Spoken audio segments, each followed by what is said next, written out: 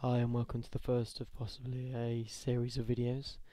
Uh, in this one I'll be, be explaining or proving uh, that Newtonian orbits uh, don't decay. They uh, why uh, the Earth can continue going around the Sun without violating the conservation of energy, why uh, why the Moon continues going around the Earth.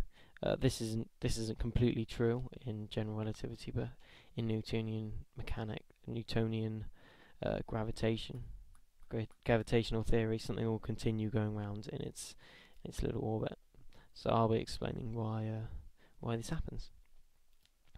Okay, you probably already know that work equals force times distance times the cosine of theta, and theta, where theta is the angle between uh, between the force and the distance. And so it will be something like this. This is the force, the distance is here, and that's theta.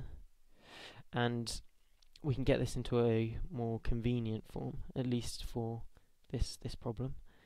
Uh, work equals integral along a curve, that's this little c here, of the force dot dr.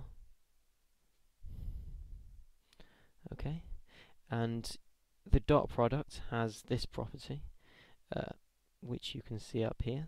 So this is just adding up lots and lots of tiny little drs and timesing by the force at that point uh, dotting them with a force vector at that point.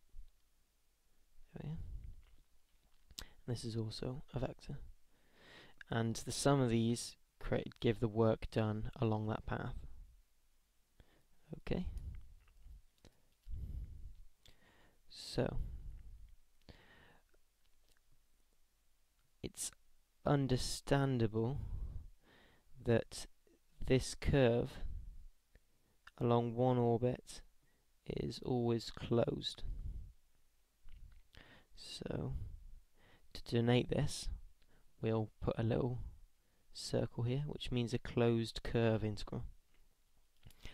Now, now that it's in this form, we can uh, take advantage of something called the Kelvin-Stokes theorem. And the Kelvin-Stokes theorem basically says um, the closed curve integral of i, which could be anything, dot dr equals, now, this is a different type of integral. This is a surface integral over a closed surface um, of the curl of i, which is just del cross i, dot dA. So, this is saying that if I uh, if I have a curve like this and I integrate along it, it is equal to if this was a sphere now.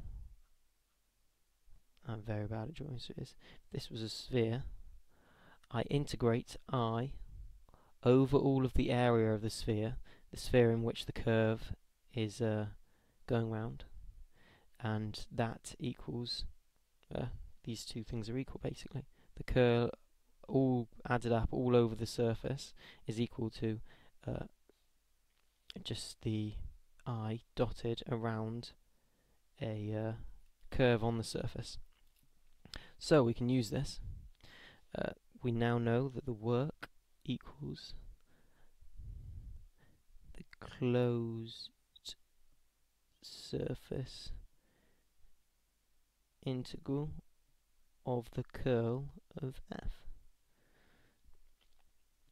dot dA. Okay, uh, you'll probably know what I'm going to do right now if I put that around here. The curl of f, because f is radial, the curl of f is 0. It's pretty obvious when you look at this. The field lines of f are simply completely radial and there's no turning, no anything.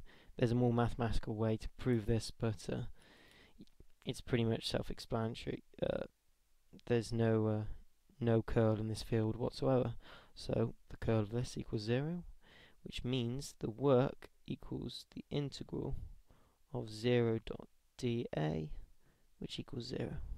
So the work along a curve uh, that goes all the way around a uh,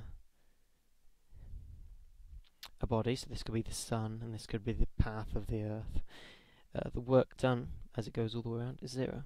So that means as it returns back, it's got exactly the same energy, and uh, obviously it has exactly the same gravitational potential, exactly the same kinetic energy, everything, so it can continue doing that loop forever and ever and ever. Okay, I hope you enjoyed the video. Thanks for watching.